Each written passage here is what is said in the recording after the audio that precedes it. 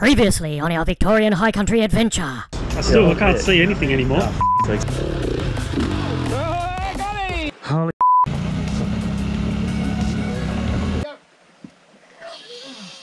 Nicely done.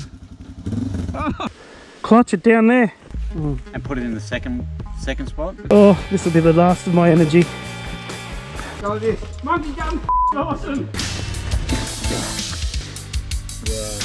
Everyone broken. Lift that end. Ready? That's it, and now go.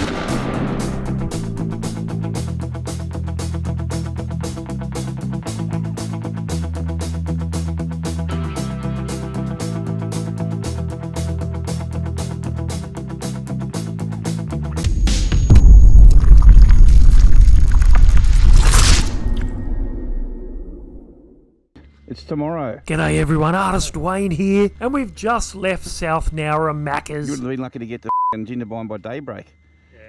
Bing, whose DR650 we left at the bottom of Monkey Gum, has found us accommodation. So that's why we've brought him with us. And I've pulled over because I'm suffering from the worst leg cramps imaginable. Suck it up, princess. So without any further ado, welcome to day two of our epic High Country adventure! G'day boys and girls, it's officially day two and it's a hive of activity today. I certainly didn't get much sleep, but I wonder how Mad Mal's feeling this morning. I'm sure Gaz Gaz slept well because he always gets his own room because he snores like a fucking chainsaw. Get ready. This morning we'd be having breakfast in Nowra with Bing before parting ways. Bing would need to organise the retrieval of his DR650 from the bottom of Monkey Gum. As for Brendo, Gaz Gaz, Mad Mal and I, we needed to ride 650 kilometres to get to Omeo. There's no rest for the wicked, that's for sure. Right, so I'm going to spend eight days of you asking just stupid questions. Yep. Oh, it's just like every other day then. Is this picking you up as well? Or what? Yes. See, it's already started. Stupid questions. So we farewelled Bing and set course for Omeo. Our bikes and stomachs were full and the weather was perfect. And as soon as we hit the dirt, Mad Mal needed to work on his KTM. And there was a debate on whose tool bag was the easiest to access. Five minutes for me to get to mine. 10 minutes to mine. Mine's in the bottom of that bag. Just take that bag off and get it out. Hey? Bloody KTM, unreliable. I'm not sure what Mal had to do, but once he got his bike fixed, it didn't take long before we had to stop again because Mad Mal was up to his old tricks.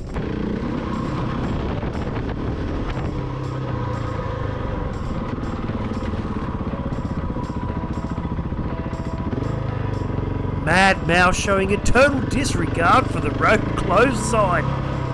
Now that sign means you can't enter or cross the barrier. If you try to, you may not get through.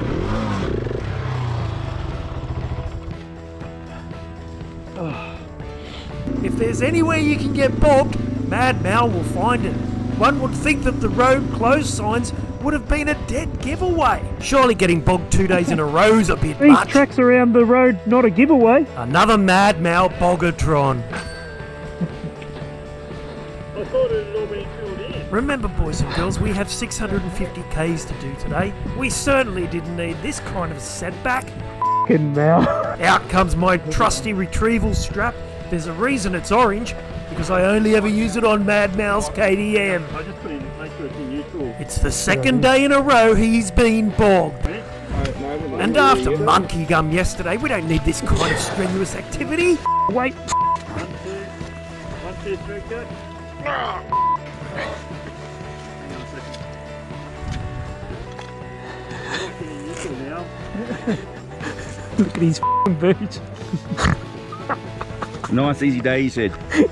You just sp- spat on me. That was a bit of lolly falling down my mouth.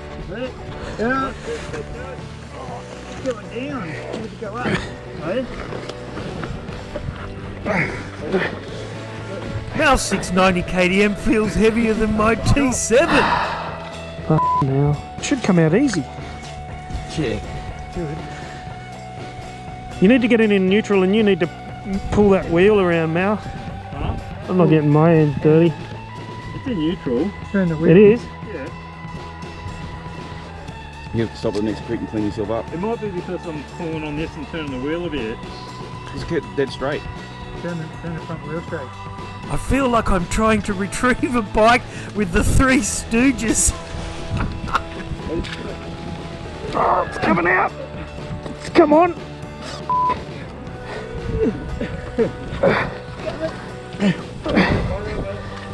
Let it back in. Right, eh? Nearly there. Ready? One, two, three. Oh, what the f? The front's f***ing bogged in then. Yeah, grab the. You can grab the handle. If we get the back out, we should be right. Ready? Oh, it was becoming a serious joke now.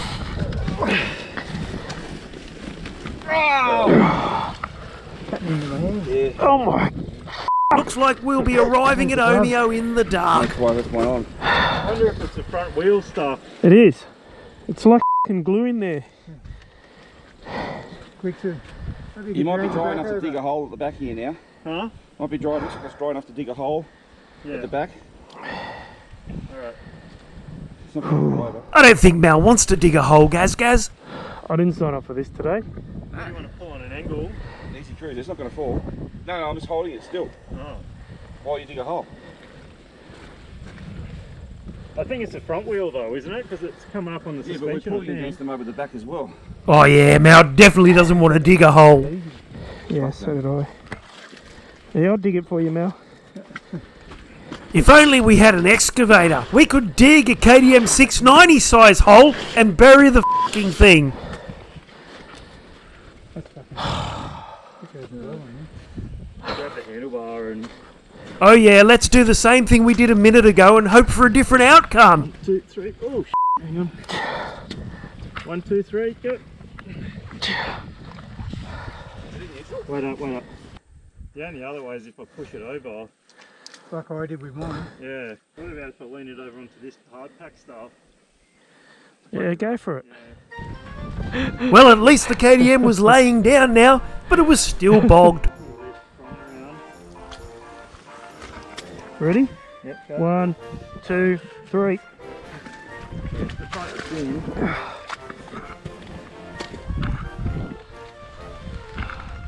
That's it.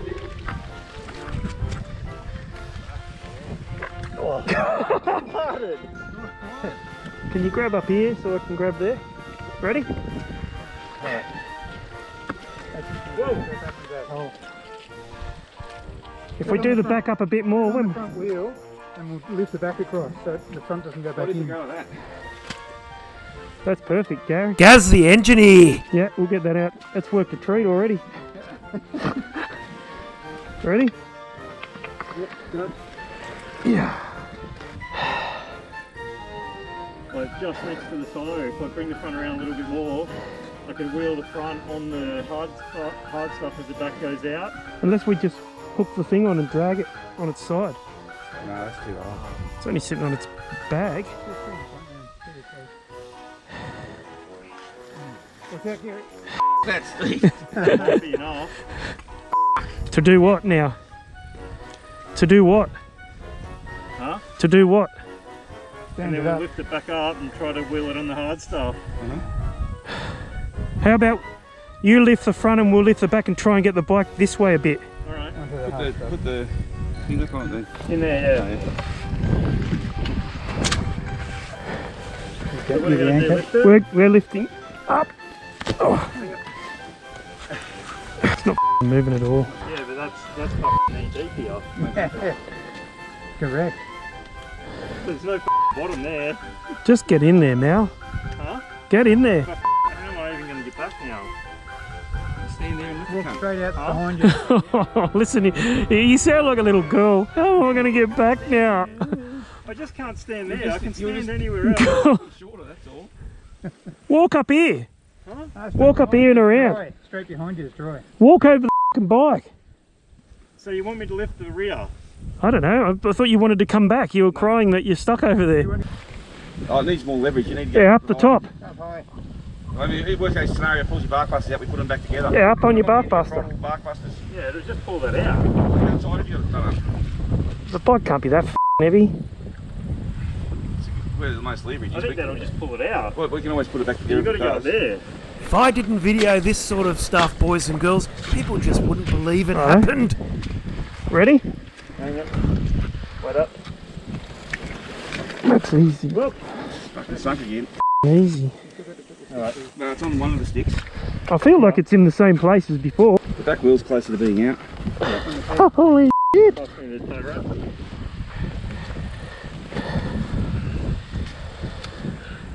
If only I was somewhere else.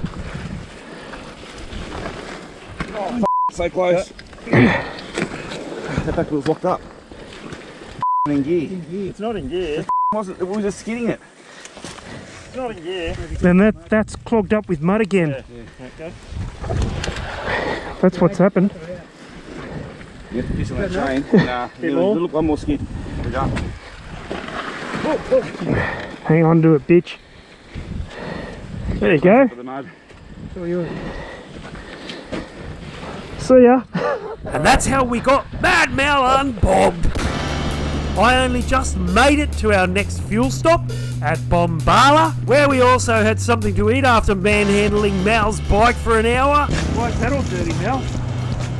Get the headlights so Clean that. it's definitely becoming in the dark. Yeah, we still had a long way to go, but we were now making good progress. Only because there was no mud for Mal to get bogged in. We were now riding through the beautiful Snowy River National Park, across one of the most spectacular bridges in the world, the iconic McKillops Bridge. And apparently we were about to drive on one of the most hazardous and dangerous roads in the country. Only because all the four-wheel drivers won't move over.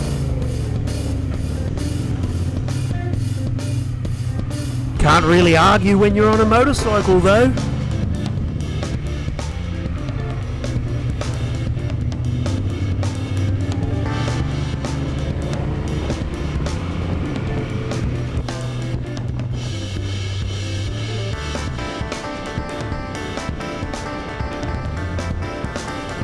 Nice, nice, nice, nice. I can't even take a leak in peace with these clowns.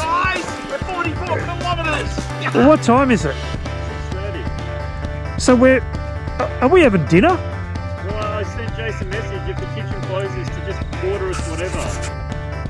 Well, that was incentive enough for me to get a crack on. To arrive at our destination in time to have something to eat was a luxury that we weren't accustomed to. But fortunately for us, we had a man on the inside. Our mate, Big Jase, the bodyguard, was waiting for us at Omeo. We were supposed to meet him at Jindabyne, but of course that never happened. We were stuck on Monkey Gum for a fucking day and a half. Big Jase, the bodyguard, didn't want to do Monkey Gum, so clearly Big Jase is the most intelligent in the group. Anyway, we were all getting excited now. The team was getting back together. Omeo, here we come.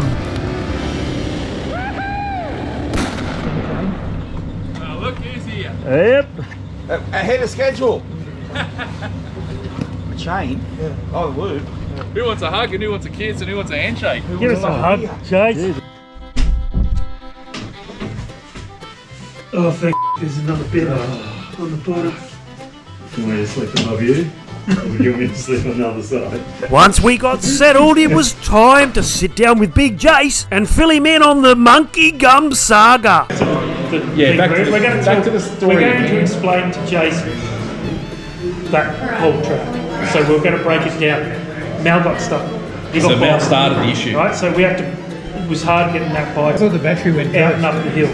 No, no, no. Oh, that was the I've got a photographic memory Okay. too. Mal's got a habit of looking for Right. the foggiest spot and just So target How deep can I put my bike in this? So shortly after we came to the next obstacle, Mal goes, "Oh, my battery's dead." When he's at the top. No, what happened? Oh. First off, they sent me up That's a and they said, There's one more hard part. Do you want to go have a look irrelevant. at it? Do you want to go have a look at it and, and let us know what it's we like? didn't say It's one, got right? with anything. Didn't say one more oh, hard part. Yes. there's another river It's going to be used as evidence another one of against We went up. I went up and I go, oh yeah, we'll cross that. If, if that's as hard as it is, we'll cross that. You actually, you, ac- you actually said it's really steep. It's steep going down. Was it steep going Bullshit, down? it was. Was not steep so- going down. wasn't It was steep, easy. It was The just second like a hill was easy. beautiful I track. believe you, don't man. remember. It was like a The problem skateboard was, race. is we gave Going now up the power to was- turn us all back and said, now, Down was like before we try to get through this first, obviously we'll go to the second one and tell us whether it's worth going through. He goes, yeah, yeah, no, okay, it's fine. Didn't So you- finish story yet. it was. How many how many things happened? You- With your photographic memory. Yeah, so so I'll go through it now. Ah, there's no need for us to argue about monkey gum. There's a bloody video you can watch. And you know what they say, the video ref never lies. Besides, tomorrow we were heading to Dargo via the beautiful Blue Rag Range track. And I can't wait to share that with you all. I'm artist Wayne Dowsent and thanks for watching everyone.